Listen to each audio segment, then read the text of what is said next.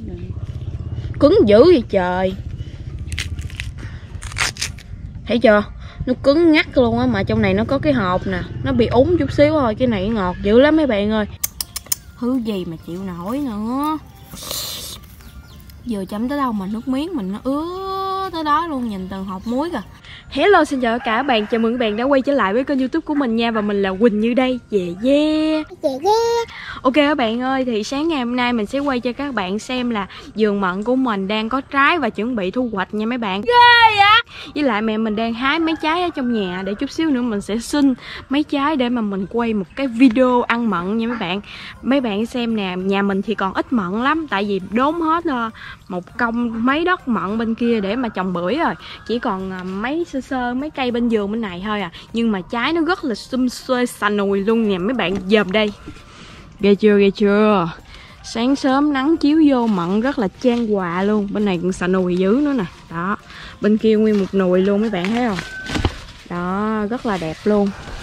Với lại á, mùa mận này nó chín á, nhìn nó thơm nó đã lắm kìa. Ở trong này là những cây mận mà chưa có hái nha mấy bạn. Nè. Buổi sáng nắng chiếu đẹp ha thì những cây nào mà nó không có nằm ở trong ờ, dừa hoặc là bưởi á, thì nó sẽ có trái bự. Còn những cây nào mà nó nó không có ánh nắng chiếu tới thì trái nó rất là nhỏ. Còn những cây nào mà nó nằm xa xa ngoài không có cây cối gì che nó thì trái nó rất là bự luôn. Chẳng hạn như cái cây này nè các bạn trái nó bự mà thiếu đều mà nó hâm đen luôn á. Nè hai trái mận mà nó bằng cái bàn tay của mình luôn rồi thấy hai trái mận bự ghê. Không ghê vậy? Mà nó lại đỏ nữa chứ à, cái nguyên một cái xà nồi đó luôn kìa. Mấy trái này thưa thưa cái nó sẽ bự ra à. Nhìn nó rất là bự chà bá luôn ha. Nhìn nó ngon ghê ha. Dễ thương ghê bàn tay mình là hết hai trái mận luôn nè. Còn ở trong này thì nó nằm trong chảng á, cho nên trái nó rất là nhỏ nhưng mà quan trọng là nó vẫn có đỏ nha nó vẫn đỏ. Có điều nó đỏ cũng hơi à, đỏ đỏ chứ không đỏ lắm.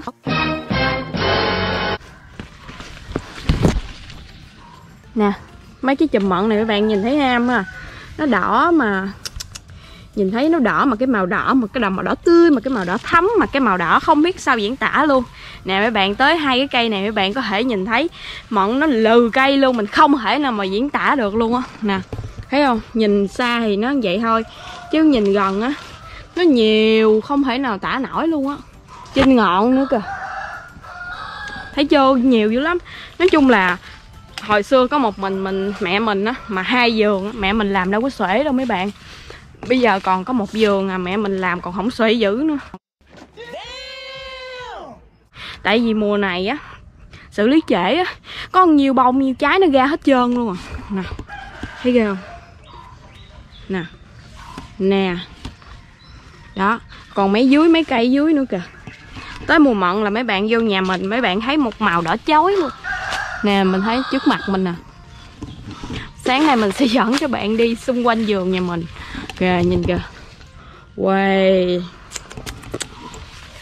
ở đây mà có hai ba cô bạn gái nữa, cái chiều nào mình cũng lôi ra diện đồ lên chụp hình chung với vườn mận nhà mình. Quá trời, quá đất luôn kìa. Chưa đâu, cây này mới hấp dẫn nè mấy bạn. Thấy không? Cây này mới hấp dẫn nè mấy bạn, nhìn lung linh ghê không? Nhìn nó đẹp đẹp làm sao á ha nhìn nó đẹp ghê luôn á. Thấy cây này sao mấy bạn? Thấy nó hấp dẫn ha. Nhìn toàn là mận không à. Nói chung là lá màu xanh thì nhiều nhưng mà mình thấy trái nó vẫn nổi bật hơn đúng không? Thấy mê thiệt chứ trời. Đó. Coi chùm nào chùm nấy nè. Mẹ mình phải lấy cọng dây cột lên vậy nè.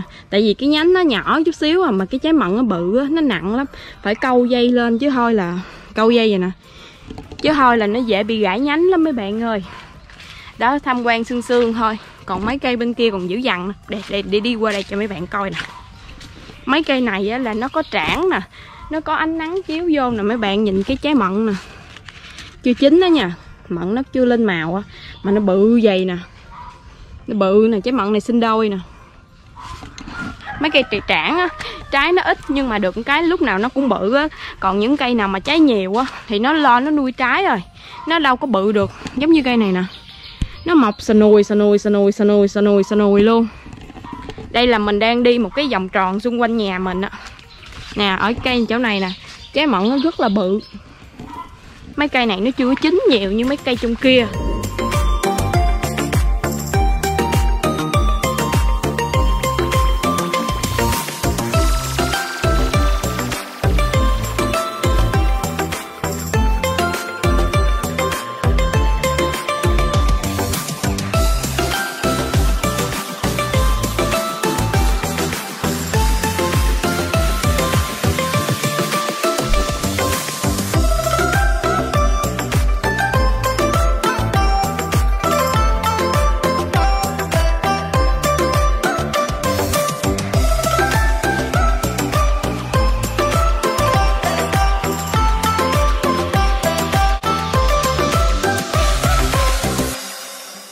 Giờ mình sẽ lấy bịch muối gia truyền để mà mình à, mình để vô ăn nha mấy bạn. Muối này là để cất dự trữ trong tủ lạnh đó, nó sẽ không có bị đen. Ghê chưa? Thấy hấp dẫn chưa? Đây muối ông sáo bọc lại chút để tủ lạnh tiếp. Wow. Hồi năm rồi mình có làm một mâm mận cực kỳ là hoành tráng luôn Nhưng mà không hoành tráng bằng năm nay nha các bạn. Cái mâm mận năm nay nó hoành tráng hơn luôn Mấy bạn thấy hấp dẫn không? Đó Nó bự như con trâu vậy mấy bạn thấy không? Khủng khiếp chưa? Trời ơi ngồi đây nó thơm nha Chưa ăn mà nó đã thơm rồi đó. Không biết ăn rồi cảm giác của nó sẽ như thế nào đây? Buổi sáng ngày hôm nay chim hót liếu lo mấy bạn nghe không? Tại vì nhà mình có mận chín, á Chim nó lại nhiều lắm. Nó hót liếu lo suốt ngày luôn à. Trời ơi, thơm quá. Mấy trái này nó có cái màu hơi đỏ hơn luôn à. Mấy trái nhỏ nhỏ vậy chứ nó ngọt lắm, nó đỏ rực rỡ luôn mấy bạn ơi. Còn mấy trái bự này nó lo bự quá, nó cũng không có đỏ lắm nha. Nè, mấy bạn thấy hai trái không? Trái này nó đỏ bầm, đỏ tím luôn nè. Để mình tách cho mấy bạn coi nha. Wow, hấp dẫn chưa nè? Wow cái mận nó tươm mặt cây nhìn nó hấp dẫn ghê ha. Chấm vô miếng muối tinh ninh nè. Công nha, ăn chắc nó đã lắm luôn á trời. Tính ra nhà mình trồng mận tới nay mà bán mấy lần rồi mà mình chưa ăn mà mình chưa biết ngọt hay là nó chua ra sao luôn á. Để bữa nay mình ăn thử nha các bạn. Có nhiều bạn nói nhà mình trồng mận á, chắc mình ăn đã luôn ha. Mình ăn ngán luôn ha. Nhưng mà không nha, nhà mình trồng mình ít khi ăn lắm. Lâu lâu mình mới ăn một hai trái coi nó có ngọt hay là mận kỳ này nó làm sao thôi. Nè, mời các bạn nha.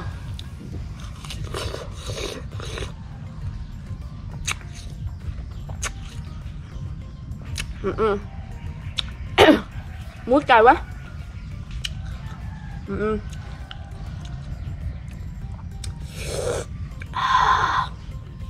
mặn nó ngọt thiệt nhưng mà muối nó cay quá mấy bạn ơi ừ.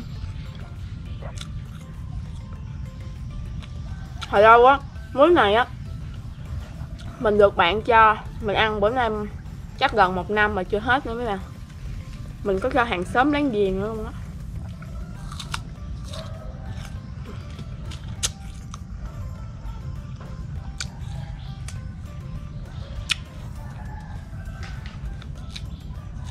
Mặn này đó, mình sẽ hái vào lúc sáng sớm mới là để cho, chảo ra cho người ta lựa rồi á, để kẹp đi bán trong buổi sáng chứ.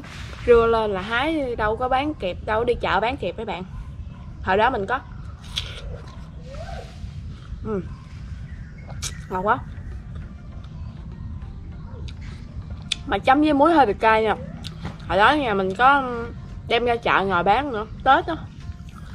Mà lần đầu tiên đi ra ngoài ngay chỗ um, chợ anh chị ngồi bán á cái um, đường tay dụ mấy bạn. Thí dụ bán mận à, bán à, ba ký không? Cái ta lựa hồi cái người ta nói chuyện cái người ta đi luôn ta không trả tiền mà giống như mình bị thôi miên vậy á tự nhiên mình ngồi mình cân xong vô bột mũ cái người ta ngồi người ta hỏi hỏi mình chút cái. Tự nhiên người ta đứng dậy thôi ờ, thôi chú đi nha thôi cô đi nha. À, rồi cái tự nhiên cái mình cũng dạ luôn xong rồi cái tự nhiên đi luôn mấy bạn cái đi một hồi mình mới sực nhớ lại là chưa tính tiền luôn á. Giống như bị thôi miên vậy á.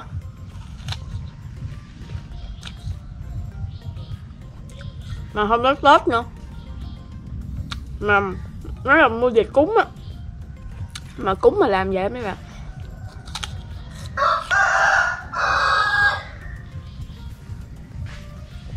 Ngọt quá. Cái mâm mặn này của mình phải nói là có thể là 10 kg tại mấy bạn nhìn thấy như vậy thôi. Chứ một cái xô mà nãy mẹ mình chắc ra cho mình á một cái xô đó là 10 kg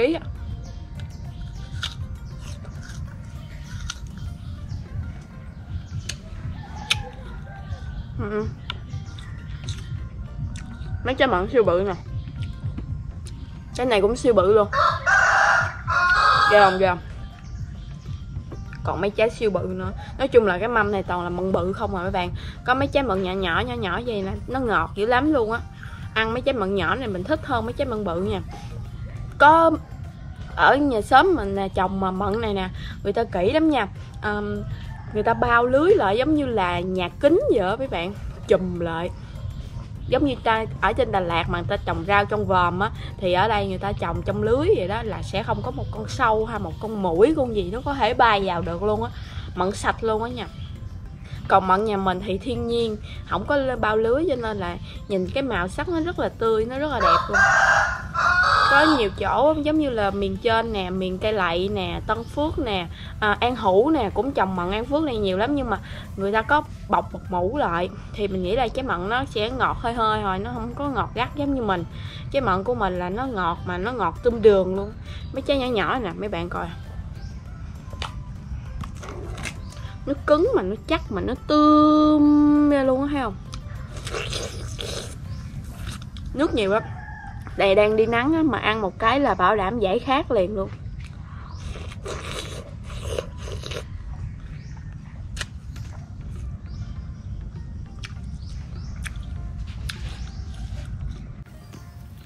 Bây giờ mình sẽ tách cái trái lên mật nè mấy bạn.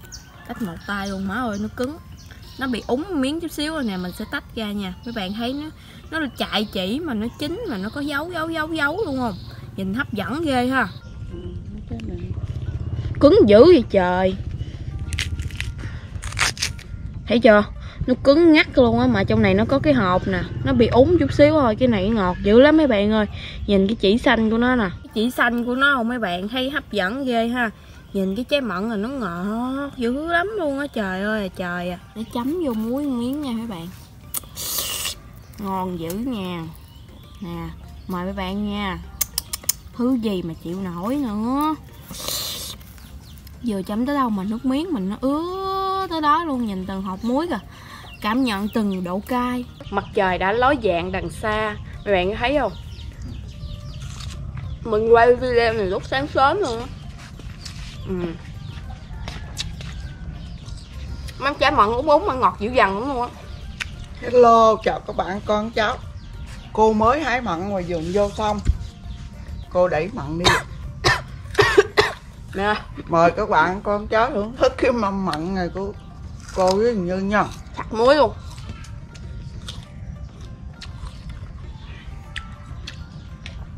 Mày chấm muối không? Ngon ghê không? Mà bạn không? cái này mới ngon. đó, Lâu lâu cũng có sâu trái. Tại tuốt trên cao ừ. cái này nó ngọt thôi chấm muối nó ngọt gắt luôn kìa giống như mẹ có bơm đường ra ngon ghê. Mỗi lần mà mẹ mình hái mận mà khát nước các bạn lấy chai mận ăn. Khỏi chai vô nhà uống nước. Đúng mà ăn này dễ khát lắm. Tại chứa nhiều nước nè. Giờ đầu cô mặn xong cô đẩy mặn đi à. Ừ. ừ. miếng này ngọt lắm nè ừ. ừ. Đi.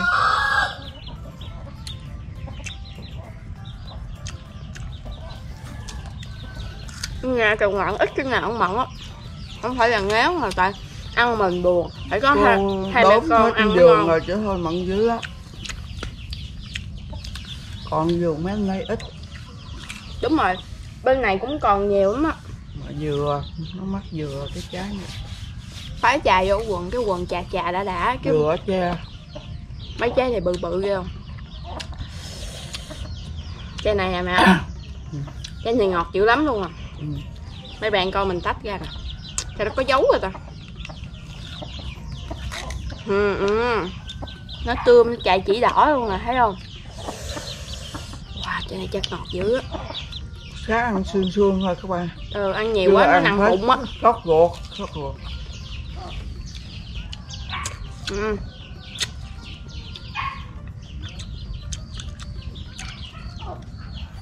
ngọt quá nè kỳ này là chín cũng chưa chín lắm nha. Chín lắm nó còn ngọt kiểu dằn ngọt mà kiểu ngọt gắt luôn á.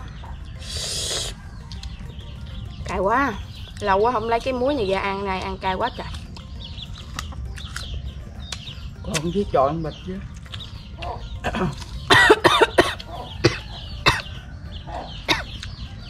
Mà ăn cái này bỏ tủ để hư. Cái này ăn dễ sặc giống như ăn dưa hấu mà chấm muối vậy sặc trăm trăm luôn.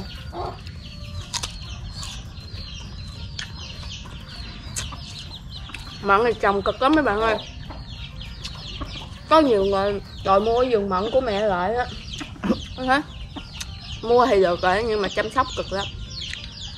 Cực lắm luôn cực cực dữ lắm luôn. Mua để quay phim với phim có một mùa hai mùa vừa xịt thuốc ăn có nè hai vụ rồi xong. Xịt thuốc để phân nè. Rồi ra bông xịt nè. Rồi rụng lá xịt nè. Có trái cái lon xịt nè. Trái bự xịt nè xịt sâu nè xịt tùm lum hết trơn á. Để phân nữa tưới đồ nữa. Cực lắm luôn. Chỉ gần hái là không có xịt thôi. Chỉ có mặn mặn này làm cực hơn bưởi nhiều. Bắt đầu thu hoạch ta không có xịt nữa. Đúng không ạ Đến tháng Không cực lắm. xịt lần chỉ tưới nước bón phân ngự lâu bồi thôi. Mận cực hơn mà điều có hai vụ hả? Gần à? hái có hai vụ à, xử lý sớm thì được hai vụ chứ xử lý trễ hai vụ. Qua tết là nó bị con rùa vàng chịch rồi Cái không tới tại được. năm nay cô quýt cái cô à, xử lý trễ á. Chứ thôi năm nay năm nay là tới vụ hai rồi giờ là vụ hai rồi phải không? Ừ, bắt đầu trái vụ hai ăn tết xong cái rồi hái. Mà tết nó hay có con rùa vàng lắm nó hay chịch lắm. Hay có sâu. Thấy cái mâm mận này là hết hai mẹ con mình luôn không thấy hai mẹ con mình luôn mà. Thấy có cái đầu lên lú lên không à? Ghê không? Thấy đâu không? Con nói cái mâm này 10 kg đúng không ạ 10 kg đúng không? Khô à.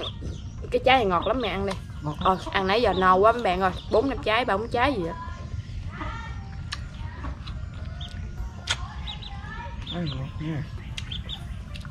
Ngon. Cay quá. Tính ra mận này mẹ mình bán cũng đâu có nhiêu tiền đâu. À quên nữa. Để mai mốt mình quay cho mấy bạn coi là nhà mình tới có bốn loại mận rồi chứ không phải có một loại mận này nha. Ừ, mận an phước nè. Mận ngoài mà sao đó bầu bầu lại mận gì mẹ ấn độ ấn mận độ nữa. Ấn độ lai gì á. la chín sen gì? Lai cái gì á? Xong rồi rồi mận ờ, mận mận tâm hoa mận trắng sữa mận mận xanh đường. Ủa năm loại chứ sao bốn loại? Mơ chết tỉa ba mận xanh mận xanh mận tâm hoa mận trắng sữa mận ấn độ mận an phước là năm loại mận nha. Hồi đó có mận mận gì đỏ đỏ dưới nữa ta? Mận gì hồng hồng quên rồi trái quên mất tiêu rồi ta. Cây đều hả? Đúng rồi mận đều. Hồi đó có một cây mận đều nữa mà cha mình đốn rồi mấy bạn tính ra nhà mình mận nó phong phú lắm. Hồi đó mận là cô ờ, mận này mấy chục năm rồi. Hồi đó gốc là mận xanh hồi nhỏ là mận xanh xong Ghép rồi ghép mận ghép phước. rồi ghép mận trăm hoa ghép mận độ. Ghép ghép mận mận trắng sữa sữa.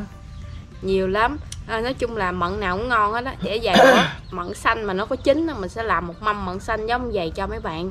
À, xem nha mận xanh ăn á cái màu nó không có được đẹp nó không có đỏ giống như vậy đúng không mẹ?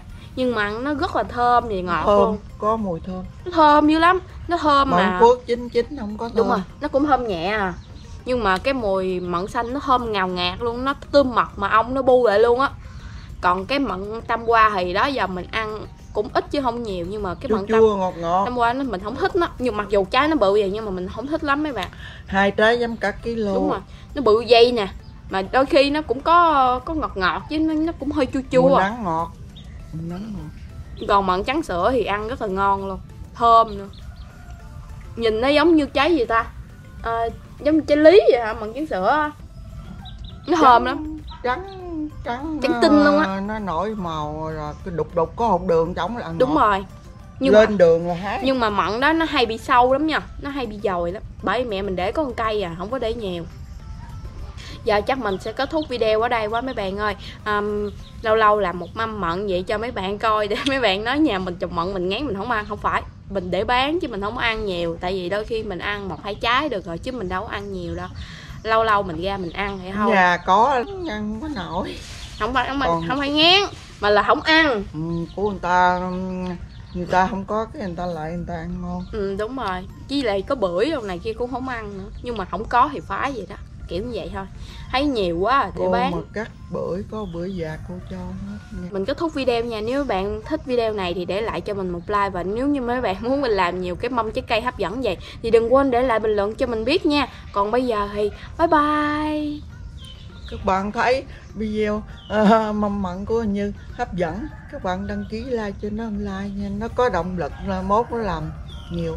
Mâm trái cây hấp dẫn cho các bạn xem nữa nha. Các bạn nhớ nhớ ủng hộ cho ba mẹ con cô luôn nha các bạn. Yêu thương các bạn rất nhiều. bye Bye bye, bye. ừ. Giờ cô bắt đầu đẩy mặn đi. Quý hộp ngon quá